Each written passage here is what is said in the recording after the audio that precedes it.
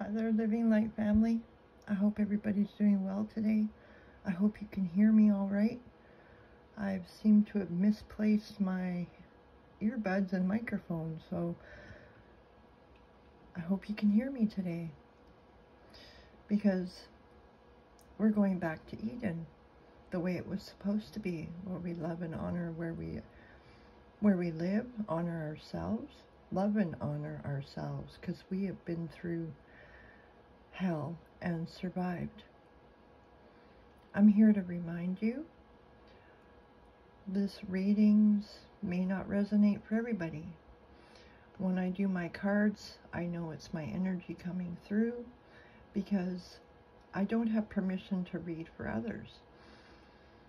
And you can accept this reading if you want and leave a comment.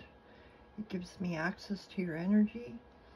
Other than that, I'm here. I'm focusing on myself and how I can better myself to be of a better service to all of humanity, whether that be just using my vessel as a vessel of love and a way of transmuting others' pain, whatever energy's in the air. I call in and, and I transmute it, and it shows up in various different ways. So I've done a reading for us. I pulled some cards, and right off the top, I want to tell you you are a spiritual warrior. All the connections you've made, the flower of life, each person you touch touches another person, and so on and so on, which creates a circle of love, healing, passion, joy, peace, upliftment. Archangel Michael says to remember who you are. You are a powerful, loving, and creative child of God, and you are loved. So know that all that power, all that love that's emanating off your body, off your energy field, brings comfort to others. So call in Archangel Azrael. He is with you in your time of need, helping your heart to heal. So as I heal, I heal others. Realize all the love that you've shared with yourself, within your heart, within your solar plexus, within your crown chakra, is emanating outward into the earth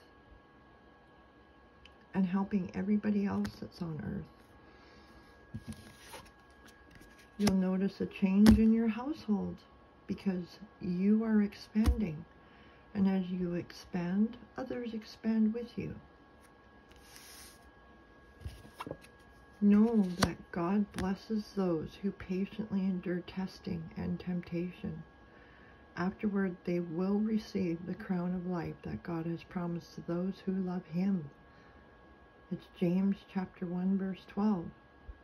So know that all the love that you've been giving out hasn't been gone out unnecessarily. Know that you are changing. You are changing yourself. You're changing others. And the sleeping dragon that lies within you has been been there for a long time, waiting for this moment. When you can control your anger and turn it into love, it's a mighty force that no one can stop. Not you and not anybody else. Keep asking God for the guidance that you need. He will never take you down a road that will cause you harm. God bless you guys.